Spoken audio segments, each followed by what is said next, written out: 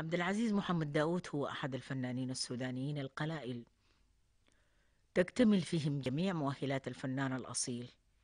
من أولئك الذين خلقوا ليكونوا فنانين بالفطرة فهو يتمتع بحنجرة نادرة وسيطرة كاملة على أوتاره الصوتية وتفرده برخامة وعزوبة دافئة في مقطوعاته الغنائية خفيف الروح في حياته الخاصة لا ينظر للدنيا إلا من زاويتها المرحة الضاحكة.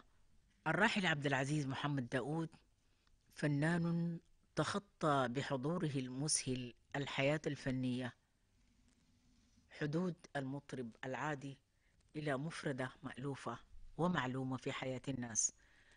ظل يزرع الفرح أينما حل بروحه الوسابة المبنية على روح النكتة والبديهة الحاضرة.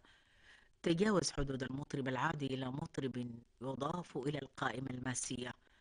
رحم الله أبو داود الذي كان ولا يزال بعطائه مزمارا يجمل مسامع الناس ويسري الساحة بروائع الأغنيات.